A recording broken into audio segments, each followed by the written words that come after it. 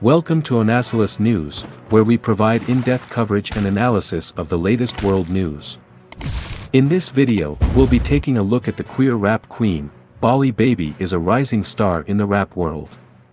She is known for her unapologetically queer lyrics and her fierce attitude. Bali Baby was born in Atlanta, Georgia, in 1997. She started rapping at a young age, and she quickly gained a following for her unique sound.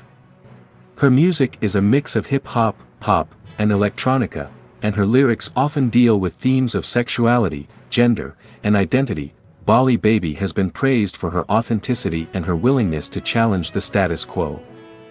She is a role model for young queer people who are looking for someone to represent them in the music industry.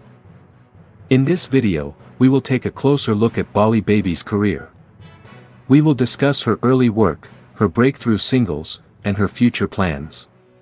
We will also talk about her personality and her thoughts on the music industry, so if you are a fan of Bali Baby or you are just curious about this rising star, then be sure to check out this video, here are some additional details about Bali Baby that you might want to include in your video, she is openly gay and has been a vocal advocate for LGBTQ rights.